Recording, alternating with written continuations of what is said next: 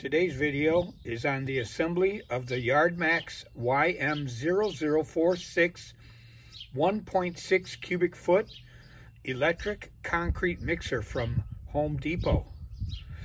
It's a uh, one bag mixer, I believe a 40 pound bag, uh, just to assist in, in mixing rather than using a wheelbarrow.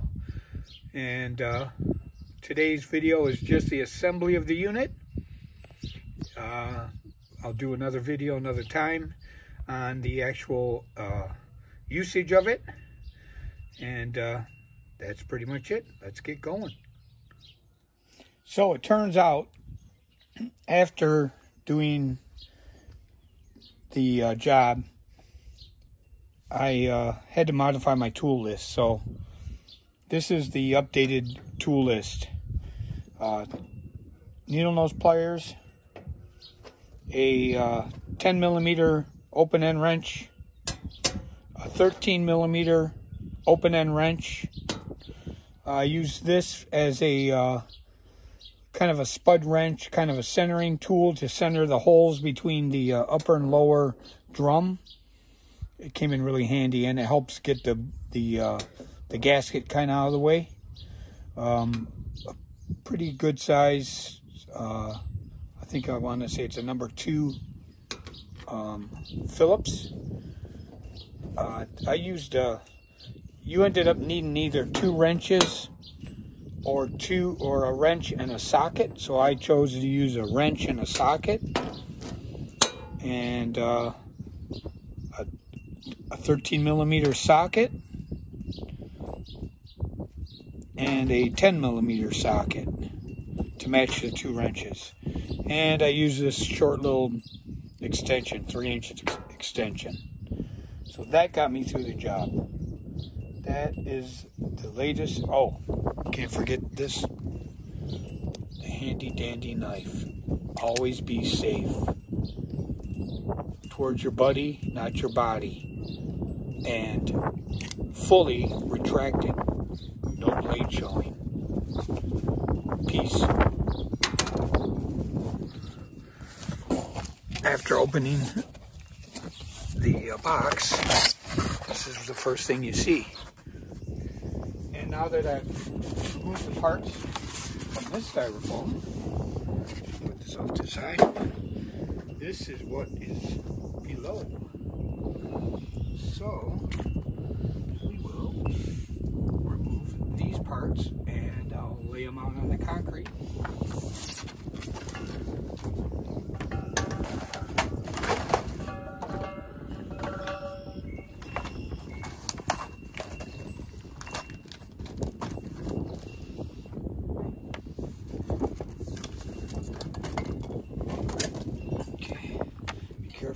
Rubber ring. The heart and soul of the machine, the YM0046 electric motor. 120 volt, 60 hertz, 150 watts. So laid out here on the concrete is the uh, all the parts that come in the box minus the uh, hardware I have on my workbench. So that's everything that's in the box. So I'm going to dispose of the box, get out of the way, and uh, we'll get with putting this thing together. So here we have uh, laid out is the, uh, the hardware kit. And it looks uh, pretty well laid out where each part of the process has, um, it's numbered. And then there's the parts itemized parts list for each section and the tools required for each section. Okay, here we are, page seven, assembly. Okay, step one is mounting the uh, wheels to the uh, wheel bracket. So I've got the wheel bracket here. The wheels are covered in plastic. Don't worry about that at the moment. We have section number one so we, uh, looks like two cotter keys and uh, some hubcaps. So let's check it out. Be very careful with razor knives, folks. This is probably one of the most dangerous tools around. People cut themselves regularly on these things. It's very, very, it just gets out of your control real quick. Always make sure the blade is fully retracted before you put it down. Wheels, that's the back side. The not so fancy side, that's the front side. Hubcap side. Put the wheel on. Stick the cotter key in. Head stops it from falling through. Then we get our needle nose pliers and put a nice little bend in these. That is number one. Okay, we're going to do number two. I'll spare you the details. Okay, wheel number two is installed. Exactly the same as this one. No biggie. And uh, handy dandy hubcaps. I guess they just kind of snap in. They're attached. Wheel cap attached. Okay, step one completed. Both wheels, wheel caps, and we're just gonna leave the plastic on for now. Okay, step number two is this bracket and this bracket. So we are gonna put that with our 13 millimeter bolts and be aware that one of these is has a notch in it. So the one with the notch is the one that let us see here. The one with the notch is the one where the wheels go. So this bracket this bracket will go here. Okay? The notch is on that side. That's where the wheels, that's the next step. Just let it hang over a little bit. Okay. We have the bolt and the washer. Okay, the washer has a finished side and an unfinished side. It's pretty much rounded on the edges. So you want the finished side facing out.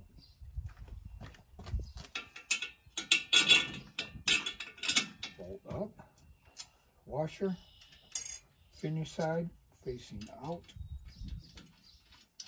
nylon nut, leave that loose, and then let's run this one in. There we go. So, looks like I need two tools here to tighten this up. And uh, you can either use two wrenches. I, I don't have another millimeter wrench, 13, so I ended up using a 13 millimeter socket. So use that, hold the nut, righty tighty, lefty loosey. So now step three is mounting the wheels onto the bracket that we just put the stanchion on. So, and remember, the wheels go on the rounded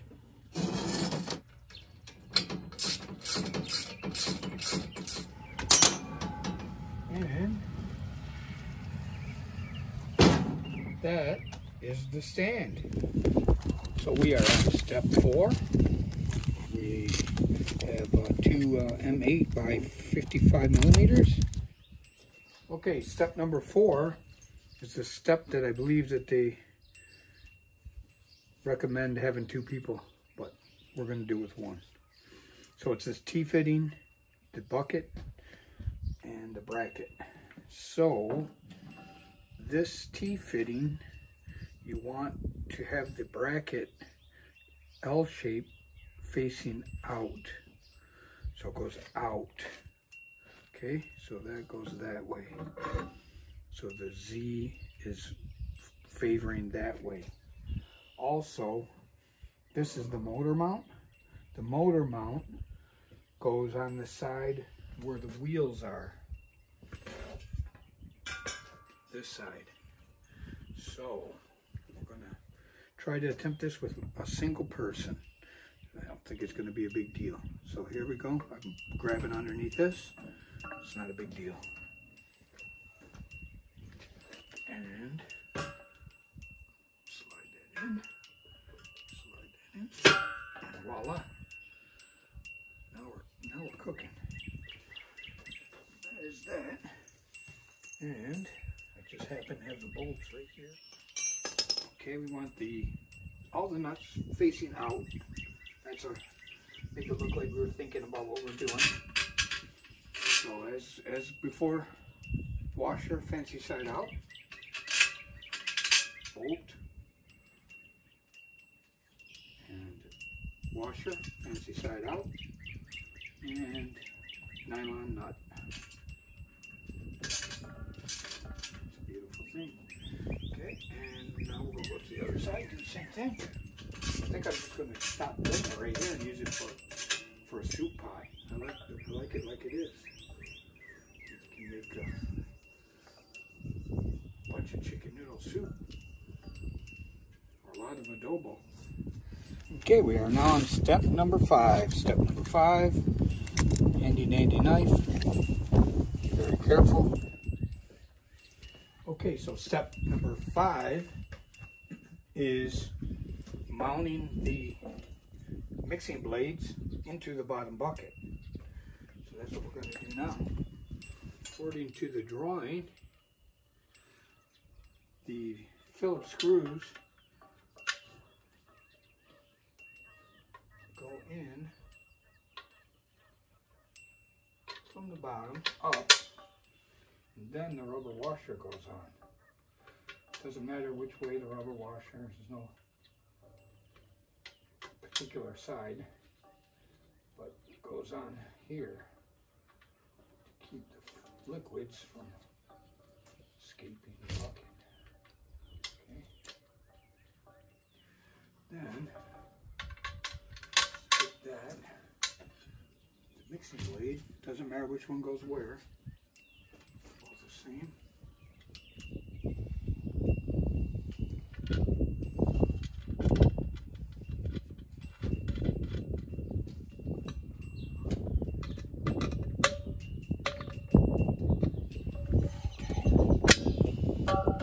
I left it loose so it has a little bit of movement. Goes on.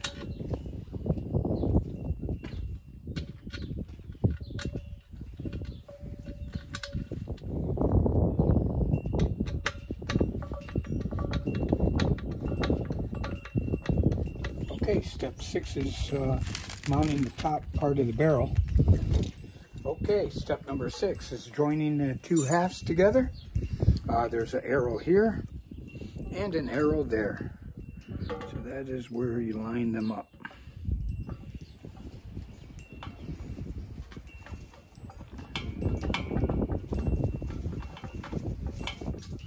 Let's turn this.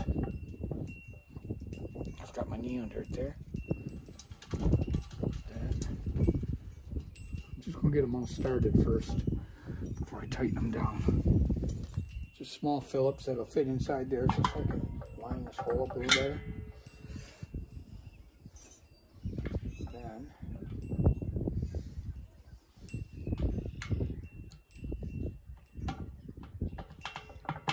Oh yeah, that's much better. Last rim, rim bolt. Found that you have to work this uh, quite a few of the holes just because that gasket overhangs. You gotta give it a little bit of a ream job. Okay, then this will go in. Then the rubber.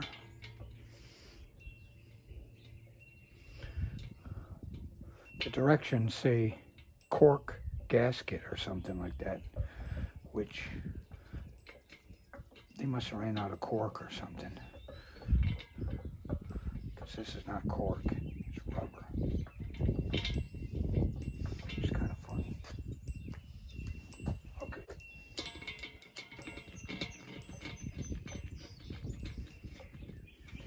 And through and tighten all the bolts up. And I'm guessing, they tell you a wrench, but guess what? I'm going to use a socket. I'll let you know how that works out.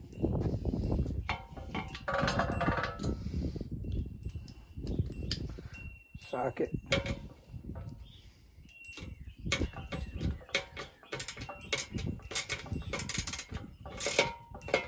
Kind of liking the socket idea versus the wrench. So the one down, down in the bottom. Go down here.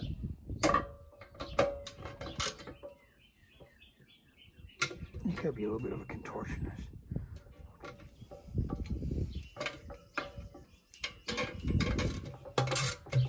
I got it. It's tight. Now let's see with this one. How's that? Okay, a slight uh, modification in the tool list. Um, using a socket for some of this stuff because a wrench is just I guess they're trying to show you you don't need many tools you can do it with some toothpicks and a and a kitchen knife but really this makes it a lot easier start with that one go all the way around boom okay so that's that it's a cute little guy Look, if you don't want to use it for concrete, you can probably mix gravy or uh, make a, a smoothie. Multi-use. Okay, we are now on step number seven. Step number seven is the uh, the mounting hole tipping bar locking plate. Number seven. Always be safe. Okay, step seven the uh, ring. So the ring looks like the finished side, not the unfinished side, faces out. It just goes over there like so. Here in this case, we use the flat washer on the bolt, fancy side out, like that. And let's just get this one started. Out.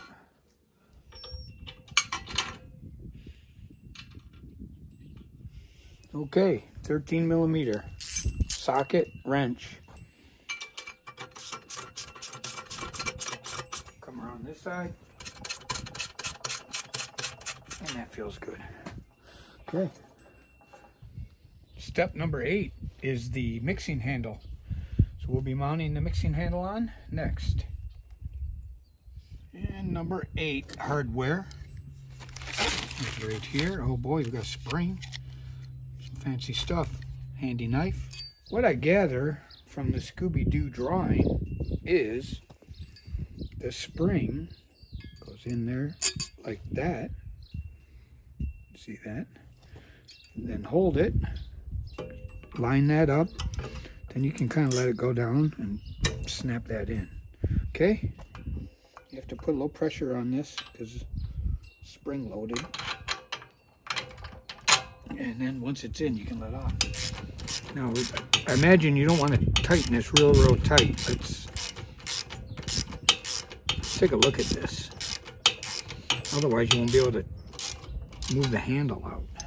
The handle's got to be able to move out. And then go into there. Seems to be working. Okay, so you put that in, boom. Dumps it. So that's why it's a nylon nut, so it doesn't back off. So that's that. Okay, boys and girls, we're on step number nine, final step.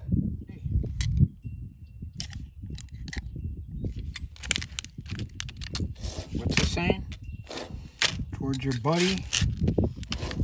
Not your buddy. Hey, buddy, come here.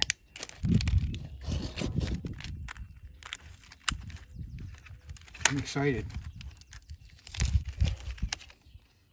long uh, 13 mil. Three nuts. Hmm. And an O-ring. So I happen to have this bench handy. So I'm I'm doing like this because I'm lazy sometimes. So if you have a bench that you can do this, it seems to work better. See, you're not fighting that. L motor goes into L shaft and it's keyed. There's a square section right there. And crazy. So this is turned a little bit. There. So it's I don't know if you can see that, but it's keyed. And it wasn't straight up and down, so I had to turn a little bit. So you might have to do that. Put that on. Our ring is still in place. The key is. I like it. Okay, so now we have the two uh, nylon nuts here. Like this. Gonna put them on finger tight. Let's get started. Is all. Get that one on. Fancy side out. And the nut facing the same direction as the rest. And then that guy. And where's the other nut? Missing one. Oh, there it is. And right there. That one started. So in this case, I don't like to be all wedged in there. So we'll get an extension. See? Then you have good working space there, see? So it pays not to just have the tools that are on the list.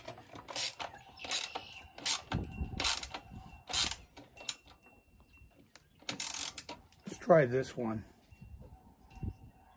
This bowl, right? I lost track. Okay. Yeah, that that's a more better one. Okay.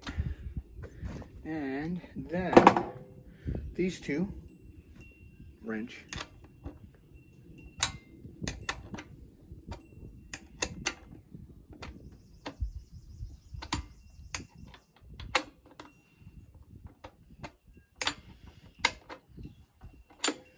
So this is the final product.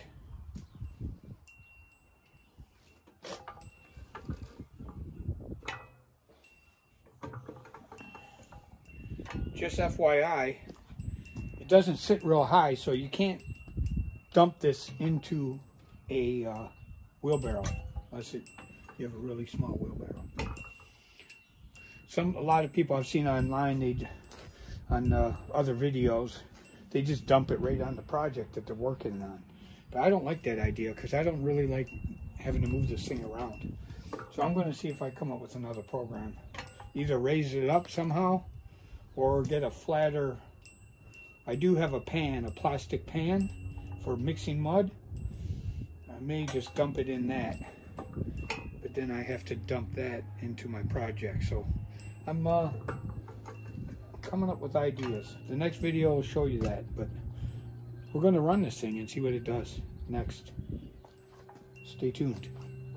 Alrighty then. So let's see uh, what this thing will do. We're not going to mix any concrete. We're just going to fire it up. So here we go. 110 volts to the motor. It's really quiet. Oh, that's right. I got to turn it on. Okay, so let's let's listen to this thing. Here we go.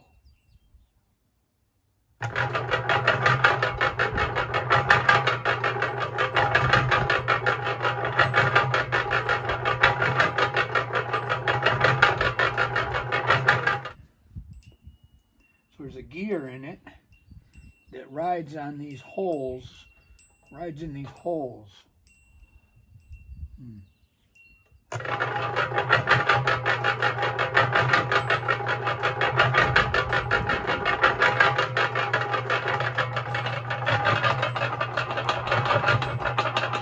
I see I see a sausage gravy mixer myself. That's it, man. Yard Max mini mixer assembly 101.